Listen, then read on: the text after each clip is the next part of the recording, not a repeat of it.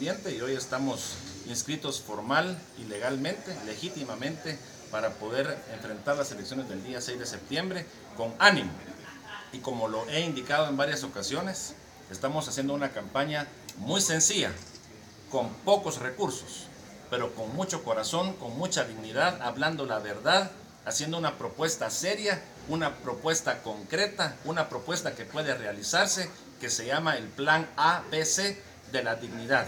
que se refiere a la economía del bien común y a la reforma política e institucional del Estado. Tengo aquí a mi candidato a la vicepresidencia, Rodolfo Dougherty, que es un técnico de las ciencias económicas con un gran prestigio fuera de Guatemala y dentro de Guatemala, que va a ayudarme a cumplir el plan de gobierno que nos hemos trazado si Dios y el pueblo de Guatemala elige al binomio del PRI para gobernar este país. ¿Cuáles son entre